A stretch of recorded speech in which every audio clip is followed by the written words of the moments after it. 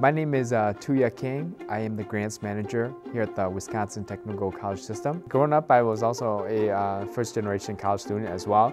And so I definitely know the uh, struggles or the challenges that many of our students face. What I enjoy about my job is that I'm able to do things that I know that can benefit those who currently are in situations that I was as well growing up and going to school as well.